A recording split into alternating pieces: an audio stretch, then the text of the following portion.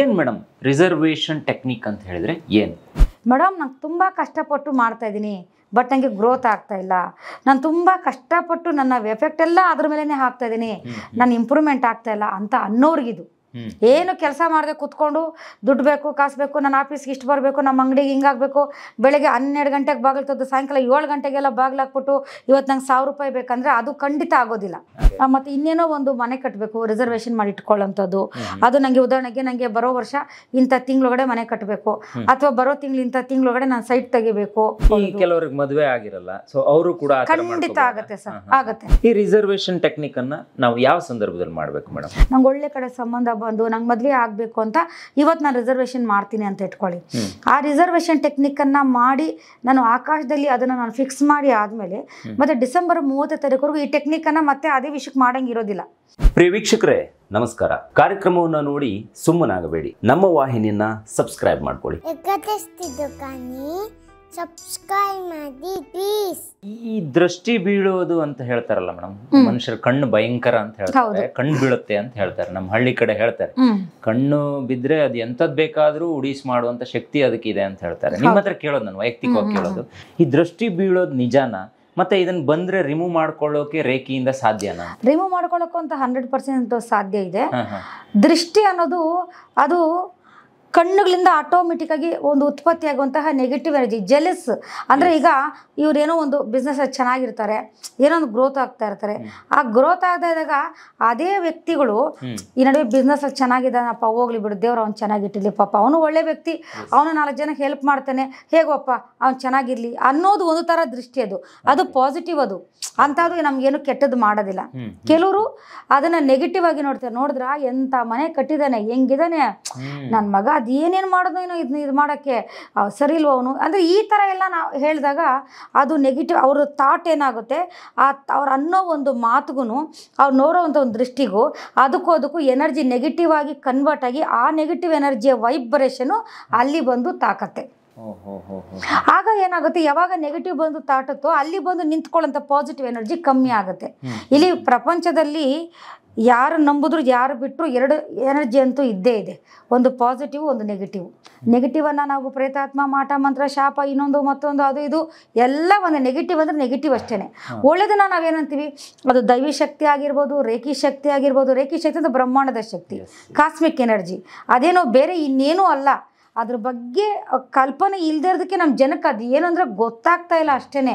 ಅದು ಬಿಟ್ಟರೆ ಅದು ಒಂದು ಪ್ಯೂರ್ ಪಾಸಿಟಿವ್ ಎನರ್ಜಿ ಡೈಲಿ ನಮ್ಮ ಕಣ್ಣು ಮುಂದೆನೆ ಇರುವಂತಹ ನಮ್ಮ ಕೈಗೆ ಸಿಗುವಂತಹ ಒಂದು ಎನರ್ಜಿ ಅಷ್ಟೇ. ಅದನ್ನೆಲ್ಲ ನಾವು ಪಾಸಿಟಿವ್ ಎನರ್ಜಿ ಹೋಲಿಕೆ ಮಾಡ್ತೀವಿ ದೈವಿ ಶಕ್ತಿ ಎಲ್ಲ ನಾನು. ಅಷ್ಟೇ ಅಲ್ಲಿರೋದು. ನೆಗೆಟಿವ್ ಪ ಯಾವಾಗ ನೆಗೆಟಿವ್ ಬರ್ನ್ಸ್ ಇರುತ್ತೋ ಆಗ ಪಾಸಿಟಿವ್ ಕಮ್ಮಿ ಆಗುತ್ತೆ. ಅದೇ ಶಕ್ತಿ ಬೆಳ್ಕೊಳ್ತಾ ಹೋಗುತ್ತೆ. ಈಗ ಹೆಂಗೆ ಒಂದು ವೈರಸ್ ಬಂದು ಸೇರಿದಾಗ ಯಾವ ರೀತಿಯಾಗಿ ಅದು ನೆಗೆಟಿವ್ ನೆಗೆಟಿವ್ ನೆಗೆಟಿವ್ ಆಗುತ್ತೋ ಅದೇ ಥರ ಒಂದು ನೆಗೆಟಿವ್ ಎನರ್ಜಿ ಬಂದು ಸೇರಿದಾಗ ಅದು ನೆಗೆಟಿವನ್ನೇ ಅಟ್ರಾಕ್ಷನ್ ಮಾಡ್ತಾ ಇರುತ್ತೆ. ಒಂದು ಚೂರು ನೆಗೆಟಿವ್ ಬಂದ ಸೇರಿದಾಗ ಏನಾಗುತ್ತೆ ನೆಗೆಟಿವ್ಸನ್ನೇ ಅಟ್ರಾಕ್ಷನ್ ಮಾಡ್ತಾ ಇರುತ್ತೆ. ಈಗ ಹೇಗೆ ನಮಗೆ ಒಂದು ನೆಗಡಿ ಇದ್ದಾಗ ಹೇಗೆ ಮೂಗು ಇನ್ಫೆಕ್ಷನ್ ಆದಾಗ ನೆಗಡಿ ಅಂದಾಗ ಶ್ವಾಸ ಎಲ್ಲ ಇನ್ಫೆಕ್ಷನ್ ಇರುತ್ತೆ. ಅದು ಯಾವ ರೀತಿ ಒಂದು ಚೂರು ಡಸ್ಟ್ ನೋಡಿದ ತಕ್ಷಣ ಇನ್ನಷ್ಟು ಸಮಸ್ಯೆ ಆಗೋದು ಒಂದು ಚೂರು ಧೂಳು ಅಥವಾ ಒಂದು ಚೂರು ಸ್ಮೆಲ್ ಬಂದಾಗ ಇನ್ನಷ್ಟು ಎಫೆಕ್ಟಿವ್ ಆಗೋದು ಅದೇ ಅದೇ ಯಾವ ಥರ ಇನ್ಫೆಕ್ಷನ್ ಇನ್ನೂ ಜಾಸ್ತಿ ಆಗುತ್ತೋ ಅದೇ ಥರ ಅದು ಮನುಷ್ಯನಿಗಾಗಲಿ ಬಿಸ್ನೆಸ್ಗಾಗಲಿ ಆಫೀಸಲ್ಲಾಗಲಿ ನೆಗೆಟಿವ್ಸ್ ಅಂತ ಇದ್ದಾಗ ಅದು ನೆಗೆಟಿವ್ಸನ್ನೇ ಹೀರ್ಕೊಳ್ತಾ ಇರುತ್ತೆ ನೆಗೆಟಿವ್ಸನ್ನೇ ಅಬ್ಸರ್ವ್ ಮಾಡ್ಕೊಳ್ತಾ ಇರುತ್ತೆ. ಅದನ್ನು ತಪ್ಪಿಸ್ಬೇಕಂದ್ರೆ ರೇಖಿ ಎನರ್ಜಿ ಕಂಪಲ್ಸರಿ ಇದು ಕೇವಲ ಯಾವುದೋ ಒಂದು ಕಾಯಿಲೆ ಇರೋರಿಗೆ, ಅನಾರೋಗ್ಯ ಇರೋರಿಗೆ ಮಾತ್ರ ಅಲ್ಲ, ಒಂದು ಬಿಸ್ನೆಸ್ ಅಲ್ಲಿ ಗ್ರೌತ್ ಆಗಬೇಕು ಅಂತ ಹೇಳಿದ್ರೆ, ಅಥವಾ ನಿಮ್ಮ ಬಿಸ್ನೆಸ್ ಡೇ ಬೈ ಡೇ ಒಂದು ಇನ್ಕ್ರೀಸ್ ಮಟ್ಟಕ್ಕೆ ಹೋಗಬೇಕು ಅಂತ ಹೇಳಿದ್ರೆ ಸೊ ಈ ರೇಖಿ ಕೂಡ ಸಹಾಯ ಮಾಡುತ್ತೆ ಅಂತ ಹೇಳಿ ಭರಣಿ ರಾಜು ಅವರು ಹೇಳ್ತಿದ್ದಾರೆ. ಸೊ ಅದನ್ನು ಕೂಡ ಯಾರಾದರೂ ಆ ಥರ ಟ್ರೈ ಮಾಡಬೇಕು ಅನ್ನೋರು ಇವರನ್ನ ಸಂಪರ್ಕ ಮಾಡ್ಬೋದು. ಸಂಪರ್ಕ ಸಂಖ್ಯೆಯನ್ನು ನಾನು ಡಿಸ್ಪ್ಲೇ ಮತ್ತು ಡಿಸ್ಕ್ರಿಪ್ಷನ್ ಎರಡೂ ಕಡೆ ಕೊಟ್ಟಿರ್ತೀನಿ. ಜೊತೆಗೆ ಇವರ ಒಂದು ಆಫೀಸ್ ಅಡ್ರೆಸ್ಸನ್ನು ಕೂಡ ನಿಮಗೆ ಕೊಟ್ಟಿರ್ತೀನಿ. ಅಲ್ಲಿಗೂ ಹೋಗಿ ಕೂಡ ನೇರವಾಗಿ ಅವ್ರನ್ನ ಭೇಟಿ ಮಾಡಬಹುದು ಯಾಕಂದರೆ ರೇಖೆಯನ್ನು ಕಲೀಲೇಬೇಕು ಅಂತಿಲ್ಲ. ಒಮ್ಮೆ ಭರಣಿ ರಾಜು ಅವರನ್ನ ನೀವು ಭೇಟಿ ಆದರೂ ಕೂಡ ನಿಮಗೆ ಅದು ಸಹಾಯ ಆಗ್ಬೋದು ಅನ್ನೋದು ನನ್ನ ಒಂದು ಅನಿಸಿಕೆ. ಮೇಡಮ್ ಈಗ ಒಂದು ರಿಸರ್ವೇಶನ್ ಟೆಕ್ನಿಕ್ ಅಂತ ಒಂದು ಇದೆಯಂತೆ. ನನಗೆ ಗೊತ್ತಿಲ್ಲ ಅದ್ರ ಬಗ್ಗೆ. ಸೊ ಹೇಳೋದನ್ನ ಕೇಳಿದ್ದೆ. ಏನ್ ಮೇಡಮ್ ರಿಸರ್ವೇಶನ್ ಟೆಕ್ನಿಕ್ ಅಂತ ಹೇಳಿದ್ರೆ ಏನು? ರಿಸರ್ವೇಶನ್ ಟೆಕ್ನಿಕ್ ಅಂದ್ರೆ ನಮ್ಮ ಕೋರಿಕೆಗಳನ್ನ ಅಥವಾ ನಮ್ಮ ಗೋಲನ್ನು ಕಾಯ್ದಿರಿಸಿರೋಕೆ. ಅಂದ್ರೆ ರಿಸರ್ವೇಶನ್ ಮಾಡಿ ಇಟ್ಕೊಳ್ಳೋಂಥದ್ದು. ಈಗ ಉದಾಹರಣೆಗೆ ನನಗೆ ಈಗ ಡಿಸೆಂಬರ್ ಮೂವತ್ತನೇ ತಾರೀಕಿನೊಳಗಡೆ ಒಂದು ಕಾರ್ ತಗೋಬೇಕು ಅಂತಿರುತ್ತೆ. ಹಾಗಂತ ರಿಸರ್ವೇಶನ್ ಮಾಡ್ಬಿಟ್ಟು ನಾವು ಕುತ್ಕೊಂಡು ಬೆಡ್ಶೀಟ್ ಹೊದ್ಕೊಂಡು ಮಲಗಿದ್ರೆ ಆಗತ್ತೆ ಅಂತ ಹೇಳ್ತಾ ಇಲ್ಲ. ಪ್ರಯತ್ನ ನಮ್ಮದಿರುತ್ತೆ ಎಲ್ಲ ಎಲ್ಲಾ ತರದಲ್ಲೂ ಕಷ್ಟ ಇಲ್ಲದೆ ಬರೀ ನಾವು ರೇಖಿ ಮಾಡಿಕೊಂಡು ನನಗೆ ಬಿಸ್ನೆಸ್ ಆಗಲಿ ಬಿಸ್ನೆಸ್ ಆಗಲಿ ಅಂತ ರೇಖಿ ಮಾಡಿಕೊಂಡು ಅದು ಆಫೀಸ್ ಬಗ್ಗೆ ಗಮನವನ್ನ ಕೊಡ್ದಿರಾ ಅಥವಾ ನಾವು ಮಾಡೋ ಕೆಲಸಗಳ ಬಗ್ಗೆ ಗಮನವನ್ನ ಕೊಡ್ದಿರಾ ಸೋಂಬೇರಿಗಳಾಗಿ ಇದ್ರೆ ಆಗೋದಿಲ್ಲ. ಆಗೋದಿಲ್ಲ. ಇದು ಎಂಥವ್ರಿಗೆ ಅಂದರೆ ಮೇಡಮ್ ನಂಗೆ ತುಂಬ ಕಷ್ಟಪಟ್ಟು ಮಾಡ್ತಾ ಇದ್ದೀನಿ. ಬಟ್ ನನಗೆ ಗ್ರೋತ್ ಆಗ್ತಾ ಇಲ್ಲ. ನಾನು ತುಂಬ ಕಷ್ಟಪಟ್ಟು ನನ್ನ ಎಫೆಕ್ಟ್ ಎಲ್ಲ ಅದ್ರ ಮೇಲೇ ಹಾಕ್ತಾ ಇದ್ದೀನಿ. ನಾನು ಇಂಪ್ರೂವ್ಮೆಂಟ್ ಆಗ್ತಾ ಇಲ್ಲ ಅಂತ ಅನ್ನೋರ್ಗಿದು ಏನು ಕೆಲಸ ಮಾಡದೆ ಕುತ್ಕೊಂಡು ದುಡ್ಡು ಬೇಕು ಕಾಸು ಬೇಕು ನನ್ನ ಆಫೀಸ್ಗೆ ಇಷ್ಟು ಬರಬೇಕು ನಮ್ಮ ಅಂಗಡಿಗೆ ಹಿಂಗಾಗಬೇಕು ಬೆಳಗ್ಗೆ ಹನ್ನೆರಡು ಗಂಟೆಗೆ ಬಾಗಿಲು ತೆಗೆದು ಸಾಯಂಕಾಲ ಏಳು ಗಂಟೆಗೆಲ್ಲ ಬಾಗಿಲು ಹಾಕ್ಬಿಟ್ಟು ಇವತ್ತು ನಂಗೆ ಸಾವಿರ ರೂಪಾಯಿ ಬೇಕಂದ್ರೆ ಅದು ಖಂಡಿತ ಆಗೋದಿಲ್ಲ. ನಿಂಗೆ ಸಾವಿರ ರೂಪಾಯಿ ನಿನ್ನ ಅಂಗಡಿಲಿ ಇವತ್ತು ಬೇಕು ಅಂದರೆ. ನೀನು ಕರೆಕ್ಟಾಗಿ ಸಿನ್ಸಿಯರಾಗಿ ಬೆಳಗ್ಗೆ ಎದ್ದು ಏನೋ ನಿನ್ನ ದೇವರೋ ಏನೋ ನಿನ್ನ ಪ್ರಾಬ್ಲಮ್ ಏನೋ ಒಂದು ಮಾಡಿಕೊಂಡು ನೀಟಾಗಿ ಹೋಗಿ ಬೆಳಗ್ಗೆ ಒಂಬತ್ತುವರೆ ಹತ್ತು ಗಂಟೆಗೆಲ್ಲ ಬಾಗಿಲು ತೆಗೆದು ಏನೋ ಏಳುವರೆ ಎಂಟು ಗಂಟೆವರೆಗೂ ಇದ್ದರೆ ಅದೇನು ಅಲ್ಲಿ ಆಗಬೇಕು ಅದು ನಿಂಗೆ ಆಗತ್ತೆ. ಇಲ್ಲ ಅಂಗಡಿ ಓಪನ್ ಮಾಡ್ಬಿಡೋದು ಇನ್ನಿಲ್ಗನ ಹೋಗ್ಬಿಡೋದು. ಇಲ್ಲ ಎಲ್ಲಾನು ಡಿಫೆಂಡ್ ಆಗಿರುತ್ತೆ. ನಾವಿಲ್ಲಿ ರೇಖಿ ಮಾಡಿದ್ವಿ ಅಂದಿದ್ದು ಮಟ್ಟಕ್ಕೆ ಆಗುತ್ತೆ ಅಂತ ಹೇಳ್ತಾ ಇಲ್ಲ. ನಿಮ್ಗೇನು ನೀವೇನು ಕಷ್ಟಪಡ್ತಾ ಇದ್ದೀರೋ ನೀವೇನು ಕಷ್ಟಪಟ್ಟು ಗ್ರೋತ್ ಆಗಿಲ್ವೋ ನೀವು ಕಷ್ಟಪಡೋ ಪ್ರತಿಫಲವನ್ನು ಸಿಕ್ಕಿಲ್ವೋ ಅಂಥದಕ್ಕೆ ರೇಖಿ ಸಪೋರ್ಟ್ ತಗೊಂಡ್ರೆ ಆಗುತ್ತೆ ಅಂತ ಹೇಳ್ತಾ ಇರೋದು. ಯಾಕಂದ್ರೆ ಅದನ್ನು ಬೇಕಾದ್ರೆ ಕ್ವಶನ್ ಕೇಳ್ತಾರೆ. ಹಾಗೆ ರೇಖಿ ಮಾಡ್ಕೊಂಡು ಮೇಲೆ ಮಲ್ಕೊಂಡ್ರೆ ಆಗುತ್ತಾ ಅಂತ ಅದು ಕೇಳೋಕ್ಕೂ ಹಿಂದಕ್ಕೆ ಹೋಗಲ್ಲ ಜನ. ಆದ್ರಿಂದ ಅದಕ್ಕೆ ಮೊದಲೇ ಹೇ ಅದನ್ನಕ್ಕೋಸ್ಕರ ಮೊದಲೇ ಹೇಳ್ತಾ ಇದೀವಿ. ಕಷ್ಟಪಟ್ಟು ಮಾಡುವಂಥವ್ರಿಗೆ. ಈಗ ನಮ್ಗೊಂದು ಆಂಬಿಷನ್ ಇರುತ್ತೆ. ನಾವು ಕಾರ್ ತೆಗಿಬೇಕು ಅಂತ. ಬಟ್ ಏನ್ ಮಾಡ್ದು ನಾವು ಅದನ್ನ ದುಡ್ಡು ಸೇರ್ಸಿಕ್ತಿವಿ ಇನ್ನೇನೋ ಖರ್ಚಾಗ್ಬಿಡುತ್ತೆ.